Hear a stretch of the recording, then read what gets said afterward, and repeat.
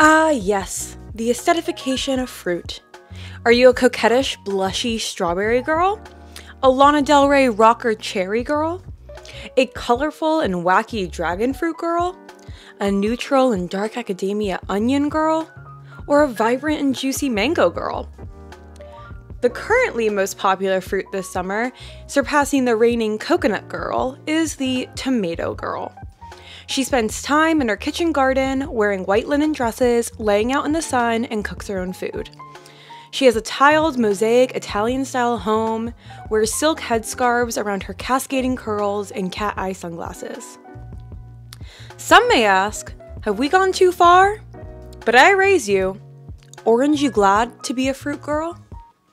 Hello friends and welcome back to my channel. If you're new here, my name is Dion and today we're talking about not only Tomato Girl Summer, but overall the fruit girl trend over on TikTok. I feel like there's over on TikTok there are a lot of like different fruit girls like strawberry girl, raspberry girl, whatever.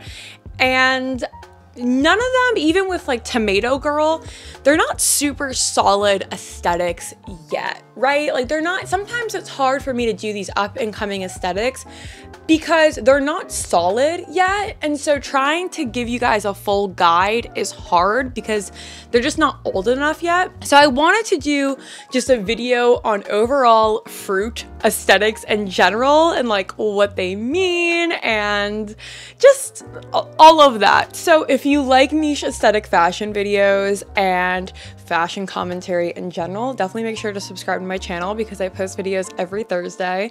With that, let's get into it. For the first time in a while, I did ask you guys for some feedback over on my Instagram, so definitely follow me there as well. I used to do that very often in my aesthetic videos, but uh, I kind of got out of the habit, so now I'm back into it. And in terms of this video, we're gonna talk about fruit aesthetics as a whole and then get feedback as to what you guys think about fruit aesthetics on my Instagram. And then we're gonna talk about Tomato Girl Summer and how to achieve Tomato Girl aesthetic. So let's get into it. Since the internet began, niche aesthetics have happened from polyvore fanfic mood boards to entire Tumblr blogs to Pinterest and of course now TikTok. Tomato Girl and other fruit girl aesthetics seems so far to be a mostly TikTok thing for now. Typing in different fruit aesthetics on Pinterest gave me the impression that it's still in its er early stages. I would probably say that Cherry Girl was probably the first aesthetic because it's such an easy offshoot from Coquette and Lana Del Rey inspired aesthetics. And then in 2020, Coconut Girl blew up. And yes, I'm counting coconut as a fruit. Basically, these early fruit aesthetics took the physical attributes of the fruit and applied them to clothing.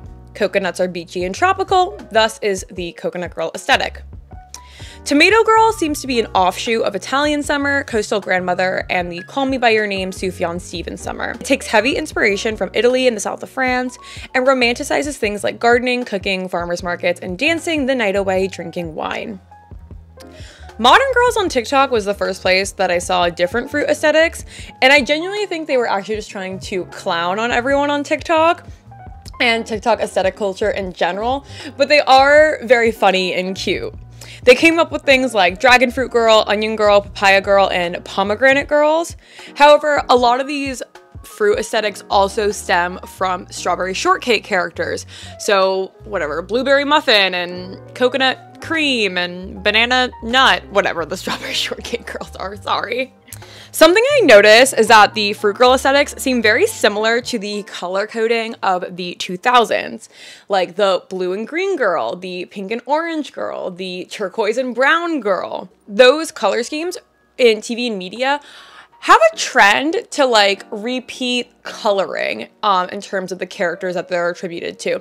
So typically pink and orange girls are almost always brunette and typically the Latina or black coded uh, characters. Oranges and yellows, those tend to be the black coded characters. Pinks and oranges tend to be like the Latina or like lighter brown colored characters. The blue and green color schemes typically are reserved for the blonde hair, blue eyed sort of types of characters.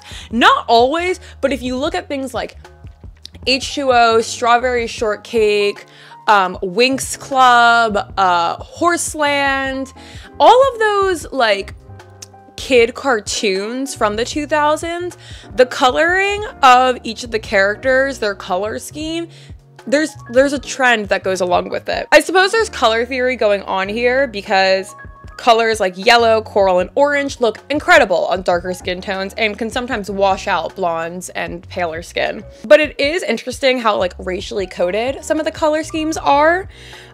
With aesthetics like Papaya and Mango Girl, darker skin tones are featured more, more brunettes, more black and Latina girls, and even more curvier girls. Whereas with Strawberry and Cherry girls, they tend to be the coquettish, waif, pale, thin types of girls. So it is interesting. I'm not, I, am just observing and stuff. Tomato girls are sort of like Italian coded. So they're still white, but they have they're brunette, they have tanner skin, they wear more of those like richer colors. Again, I think part of it is just like color theory, but I and like what colors complement different skin tones and hair colors, but I do think it's interesting the how consistent it is throughout different like media and TV shows and stuff like that. So now we are going to get into the portion of the video where I talk to you guys about what you thought about fruit aesthetics in general. Like I said, I asked this over on my Instagram, so definitely follow me there at Dion the Taurus. So the first thing I asked was, have you heard of Tomato Girl Summer? And 30% of you said yes, 70% of you guys said no. And I always, I love opening up my Instagram questions with that because it really shows how like in the weeds I am of internet culture that like most people have never heard of this. And I'm like, you guys, this is the most popular aesthetic of summer 2022, 2023, whatever year it is. And then I asked, how do you feel about the aesthetification of a fruit? Someone said, anything could be an aesthetic. I think it's kind of cute and creative. Aesthetification is fun. It feels like capitalism has sunk its gross and slimy claws into it. That being said, I aspire to be a tomato girl. It's cute, who cares, have fun.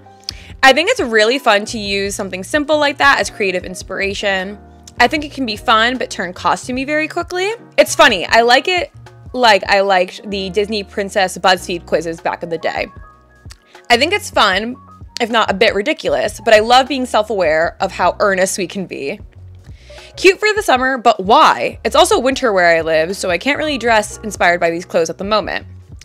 It's silly, but we can go along with it. It's like Zodiacs, meaningless, but so, so fun. I think it's fun, especially when the vibes are accurate. And that really plays into the whole theme of my channel is that these niche aesthetics are not realistic. You should not aspire to 24 7, 365 be coquette, be dark academia, be cottagecore. That's just not realistic. If you go to the hospital, nothing about the hospital is cottagecore, right? If you work at a retail store, no matter how dark academia you are in real life, it's gonna be hard to convey that. So it you it shouldn't feel so strict, especially with things that are as frivolous as these fruit girl aesthetics. Really, you're just using it as inspiration. And that's what all niche aesthetics should be, right? It should just be I want to feel like a dragon fruit girl. I want to be bright. I want to be colorful. I want to be wacky. I want to be weird girl. It's just, it helps. These niche aesthetics to me, like I always say, are like dress up prompts. Like, what am I going to dress up as? Well, fruit girl. So I got my cherry dress on. I got my strawberry vest on.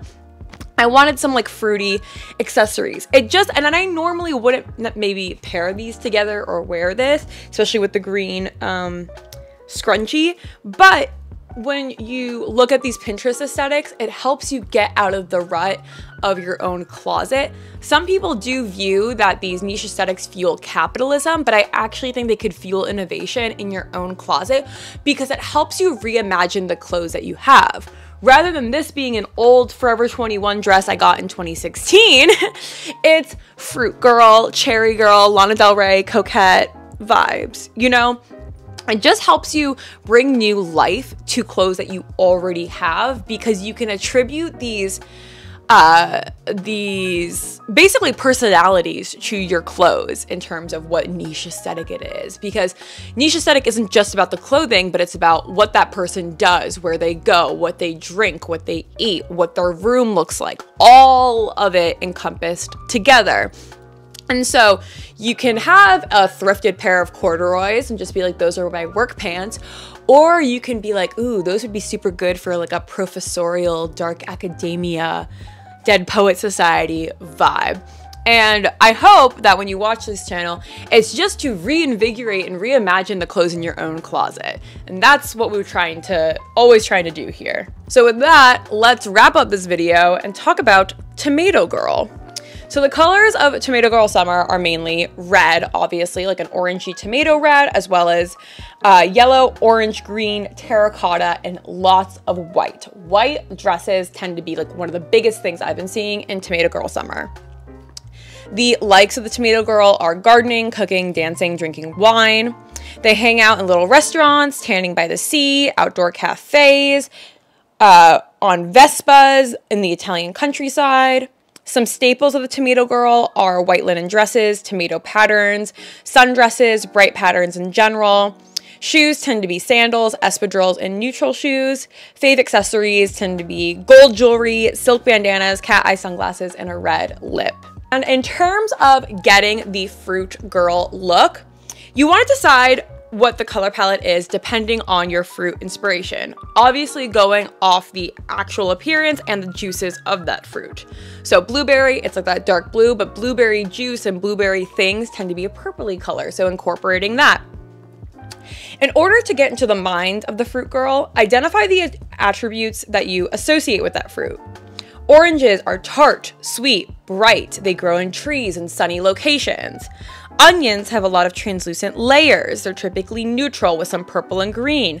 They're underground in the dirt. This is what is going to define the personality and thus the fashion and the activities of the fruit girl you're trying to be.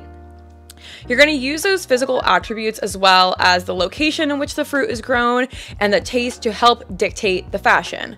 Makeup, accessories, and scent are also good to drive home the fruit aesthetic. So if you're doing Cherry Girl, those dark, rich wine sort of cherry colors, cherries have a pit, so there's sort of an edge, a rockery thing to them the leaves of cherry trees are like a deeper green.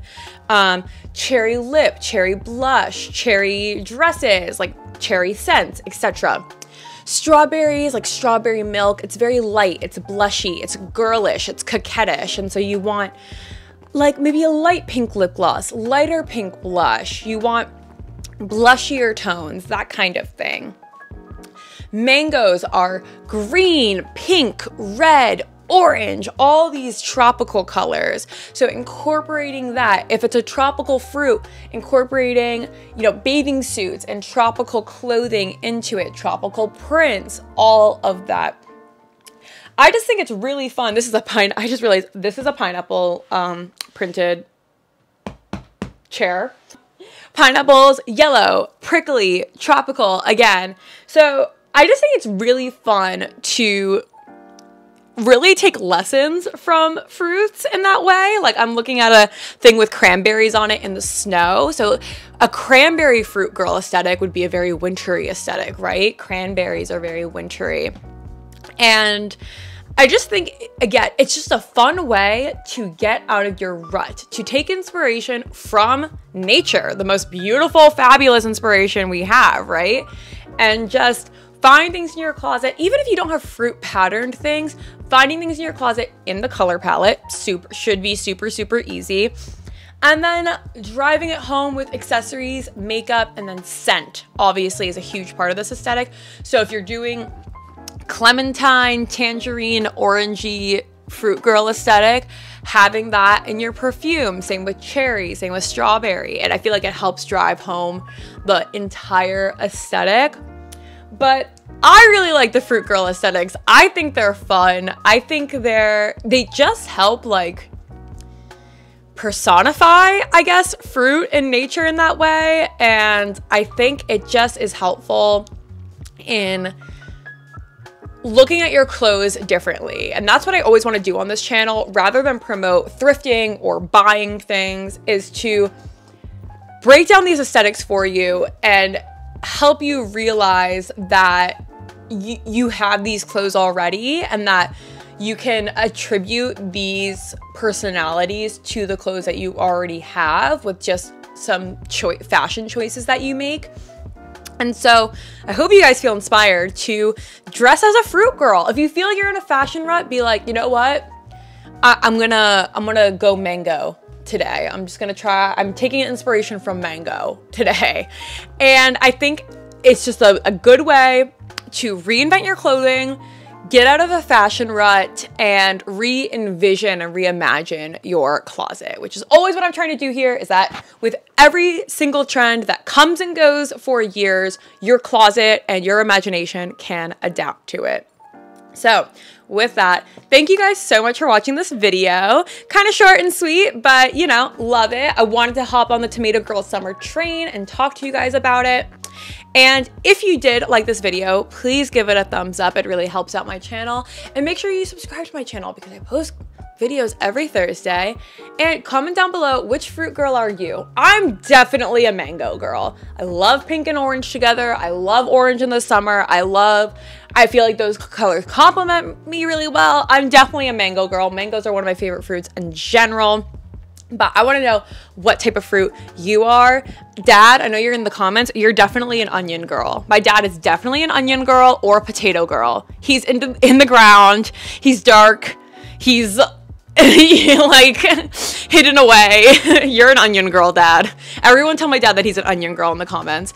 Anyway, also follow me on TikTok and Instagram because on Instagram, you guys could help participate in these videos. Um, so go ahead and do that at Dion the Taurus. And with that, have a happy, happy day.